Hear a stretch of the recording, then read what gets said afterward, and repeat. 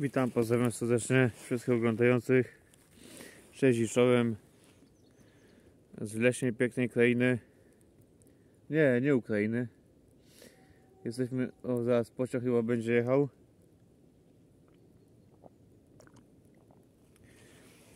Chciałem powiedzieć,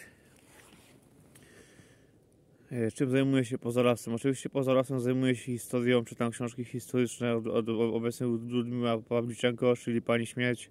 Powtarzam. E, Polecam wydawnictwo Napoleon V, książki Niny Majewskiej Brown, książki typu y, Pacjentka, jeśli, jeśli ktoś woli taki thriller, taki bardziej y, y, na przykład jeszcze mogę polecić Metro, la, y, Metro e, trzy tomy bardzo świetna książka. To jest mój kubek z motywem jelenia i niedźwiedzia.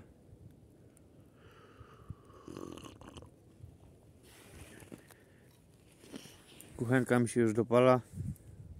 Zaraz będę ją składał. Wchodził na ambonę no jest pięknie, jest fantastycznie, jesteśmy w lesie, tu gdzie najpiękniej, proszę Państwa. Nie jakieś miasto, kurcze, nie jakieś tam spaliny, nie spaliny. Jesteśmy tu gdzie najpiękniej, czyli w lesie. I pozdrawiam serdecznie Filip Piecowski, dziękuję.